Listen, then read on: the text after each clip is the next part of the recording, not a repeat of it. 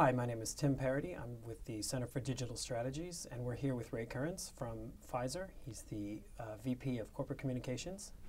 Thank you for having us, Tim. And thanks for coming. Um, we're here today to talk a little bit about social technology and how you're using it with the company. Um, tell me a little bit about the role you see uh, social playing at Pfizer. So we've taken an early lead, I think, in our industry to adapt to social media channels because what we're seeing is this is what the end user, in our case, people who are looking at our products, the physicians, the patients, the NGOs that we work with around the world, they're utilizing these channels. Who will we decide that they're not for us? Um, so we're engaging because the people we're trying to reach are directly engaging, and those numbers are going north every day. Interesting.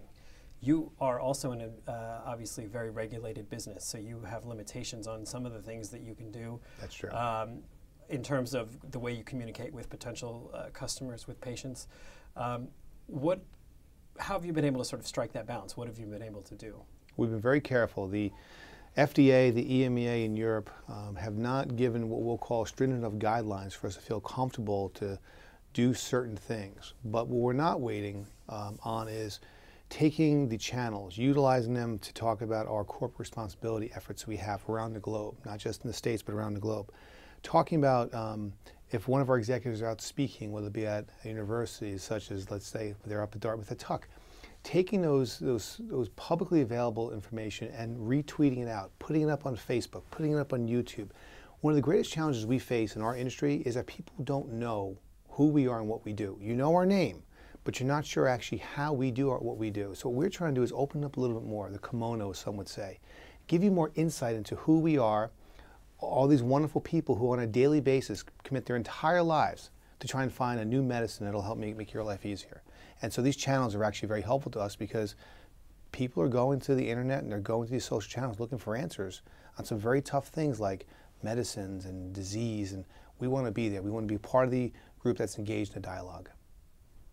And at the same time, it's a, you know it's an interesting world, but it's also a dangerous world. There are a lot of uh, potential pitfalls for social uh, if the wrong information were to be released or, or somebody were to say something that weren't that uh, that wasn't flattering. How do you you know grapple right. with these issues? I think many companies start off as we did, which is you spend a year or so really listening, going into the channel, seeing what's being said, seeing the tone, understanding who are the thought leaders. Who there's a sort of this rule out there. It's what uh, some would call it the 99-1 rule.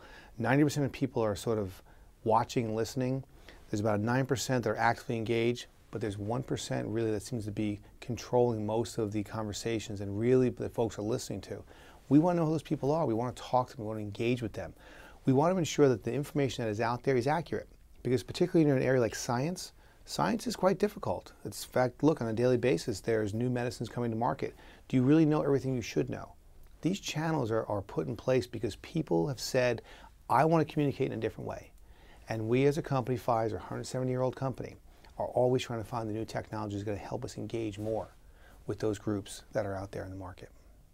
Interesting. Yeah, I can imagine um, that is going to have some interesting meetings in your office trying to figure out how you how you deal with all these things. But so but, the challenge becomes, as, as you mentioned earlier, when we won't blame our regulator for not giving us the information. What we're saying is uh, lack that guidance at this point there's a certain level we can actually take our engagement to on the social channels. So we can probably take it up just before the part where we're talking about our products.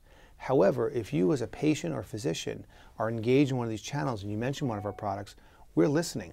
And what we're doing is we're taking those dialogues and we're handing them over to our medical team and let them actually then re-engage in the conversation, as opposed to a communications person or someone from investor relations.